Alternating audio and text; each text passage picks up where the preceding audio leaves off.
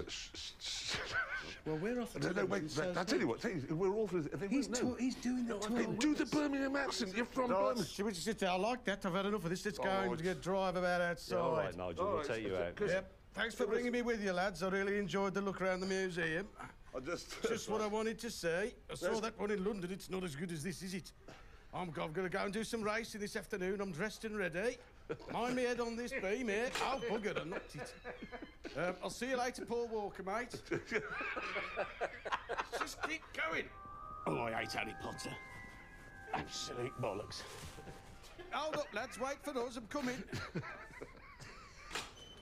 Guys, guys, we can get out this way. Shh.